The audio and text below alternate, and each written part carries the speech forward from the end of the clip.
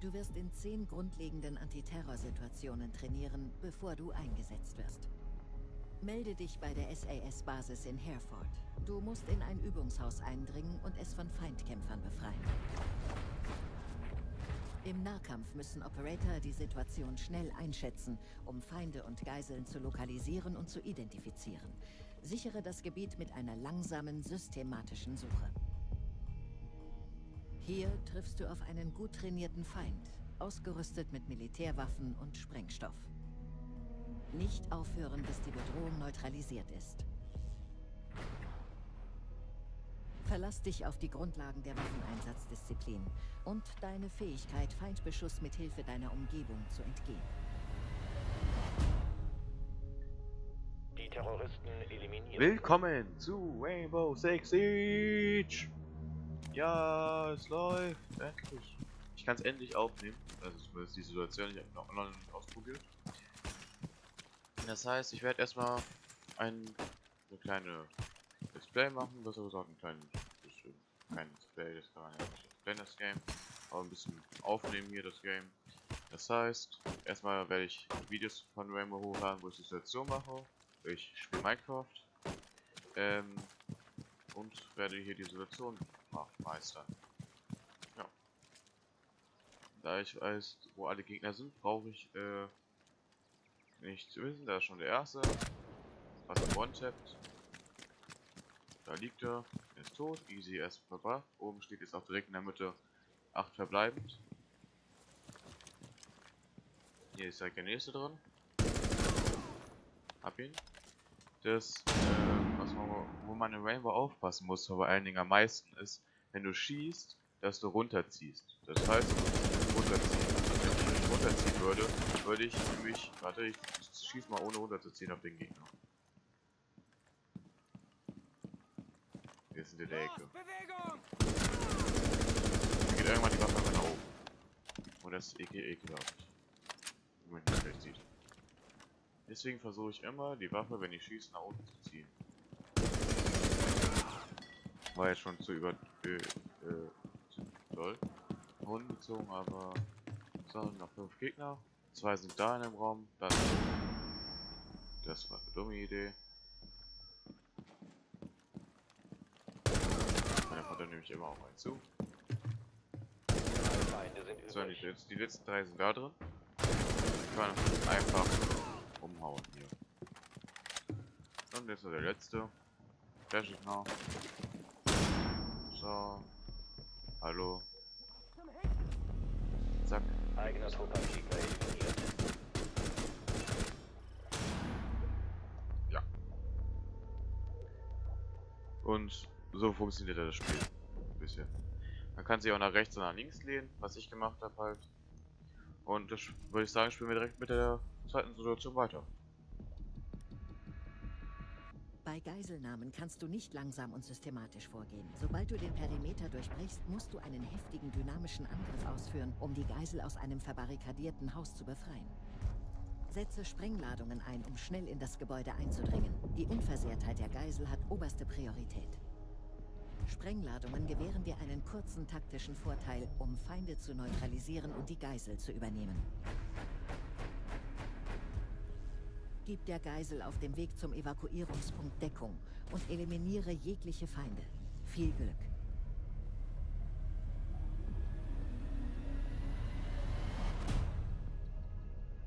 Geisel entdeckt. Ich werde hier versuchen, alle Feinde auszuschalten. Und äh, wenn ich hier durch die Tür gucke, da ist schon ein Feind hier, da sitzt aber auch einer, da, wo die Füße sind. Deshalb gehe ich trotzdem erstmal zu dem, weil der kommt rum und überrascht mich. Hallo? Ja, hier drin ist auch einer. Da. Genau, da liegt er. Und in der Küche sitzt auch einer. Genau da. Das war strange. Wer sitzt denn da?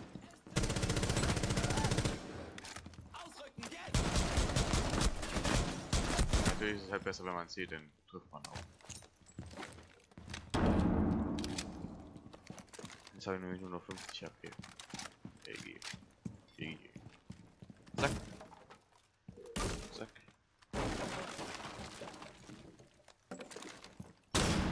Ja, blenden. Okay, doch nicht geblendet worden. Ja, blenden. Doch nicht geblendet worden. Okay, zack. Kann ich nicht spielen.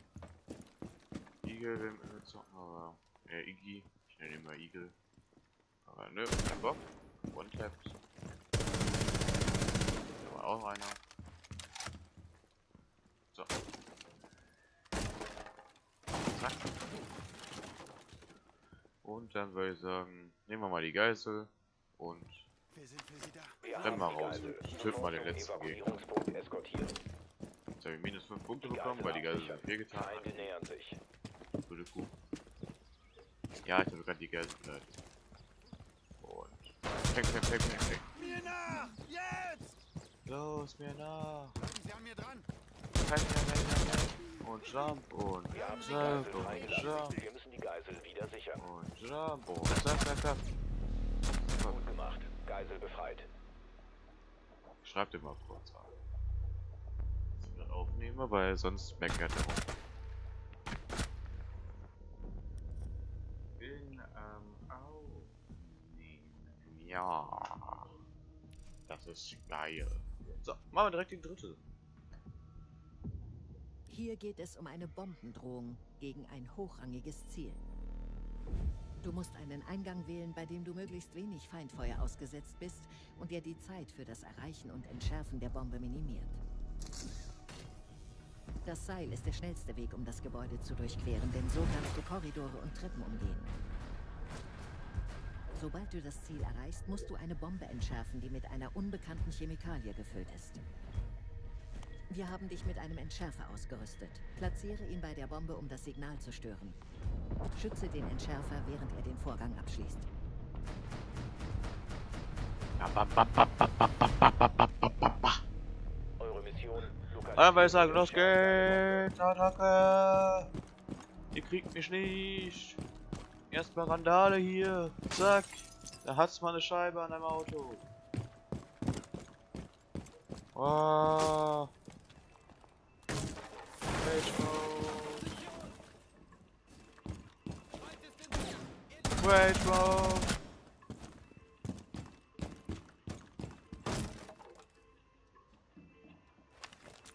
Rage Mode. Flieg! Jetzt nochmal ein Zeitlupe. Und jetzt. Oh, oh. der steht mal ausnahmsweise nicht auf dem Tisch. Sonst steht er nämlich immer auf dem Tisch.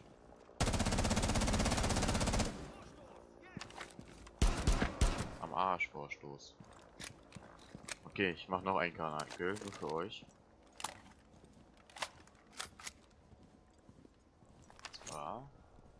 Avada! Kedabra! Soll ich noch einen ausprobieren? Avada! Kedabra! Wo ist er hingeflogen?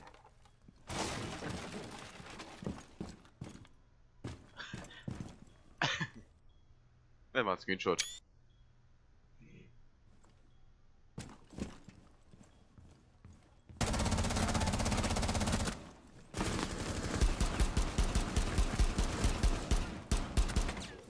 Okay. Kopf erwischt. War nicht so einfach wie gedacht. So, und ich habe noch eine Granate. Ich weiß, wo wo ich hinwerfen werde.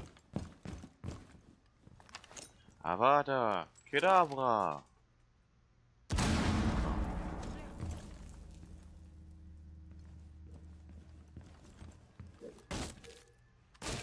Hallo.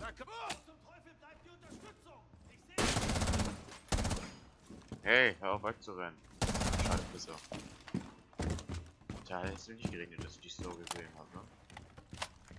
So, dann noch die im Raum. Warte, kann man... Das gerade gesehen?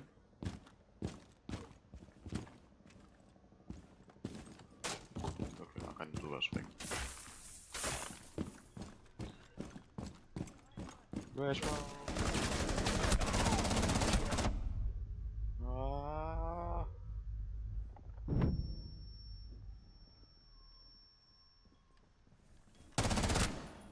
Was war das denn? Bobby. Hallo. Soll mich umbringen, ihr sollt mich nicht loswerden. Leute. Was macht ihr falsch? Ich werde aber eh sterben. Wenn ich so vorgehe wie immer, deswegen. Normalerweise würde ich hier das Fenster aufschlagen, da oben das hinsetzen, die fünf, vier Leute daraus töten und dann hier äh, die Leute töten, die an die Bombe gehen, aber ich muss das mal anders machen. Das heißt nachladen. Nachladen, oh, das ist schon nachgeladen. Platziere ich hier die Bombe. Entschärfer platziert. Gegen feindliche ich einfach Aktionen mal schützen. in die Ecke. Mach hier ein Loch rein.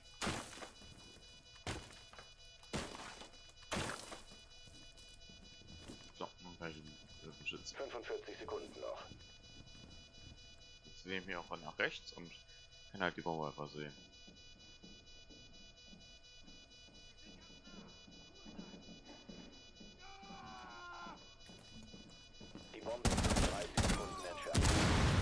Da hat schon der Punkt, der springt immer das Fenster auf.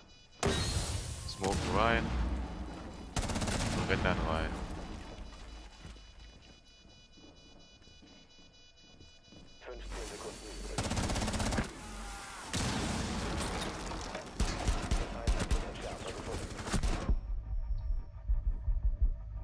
Sekunden, bis die Bombe entschärft ist.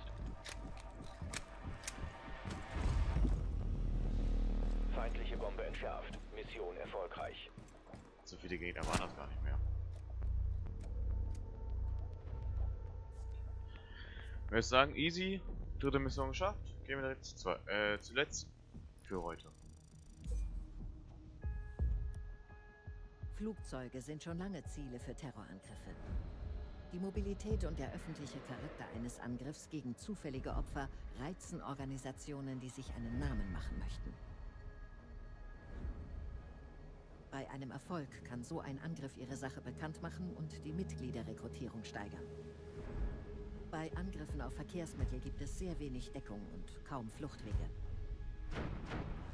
Der FBI SWAT Operator Ash wird in dieser Situation eingesetzt. Mit ihren Durchbruchsgeschossen kannst du aggressiv Schusslinien unter Kontrolle bringen.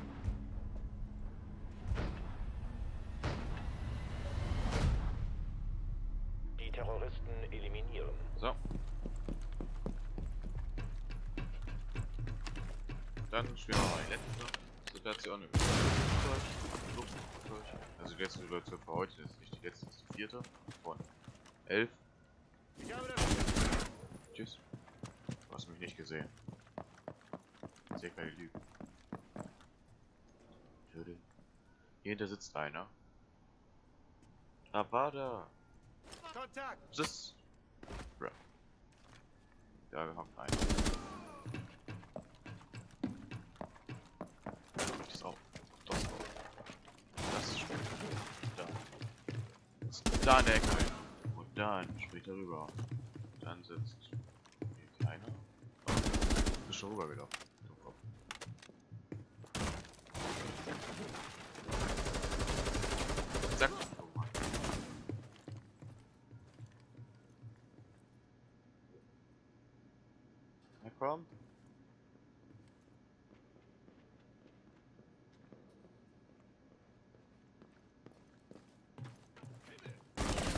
Hä?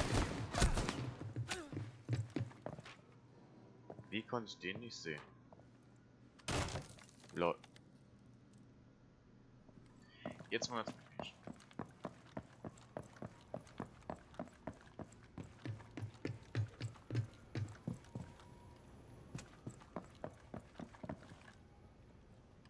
Drei Gegner übrig. So. Ich weiß ja, wo die letzten drei sind. Kontakt. Oh, fuck.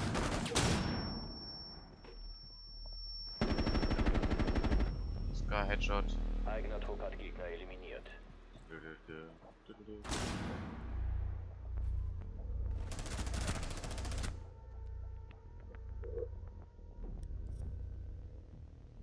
Würde ich sagen, war's das mit dieser Folge von Rainbow Six Siege. Und wir sehen uns beim nächsten Mal. Euer Zu.